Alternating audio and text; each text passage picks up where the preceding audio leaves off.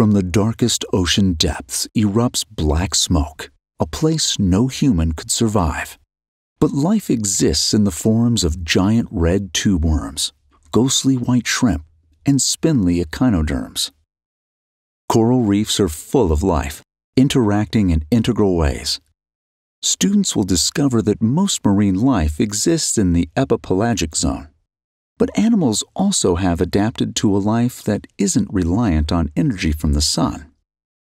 Complete with an online assessment and easy to follow student guide, Ocean Ecosystems takes an interactive approach to discovering the dynamic physical and chemical parameters that impact life in the ocean.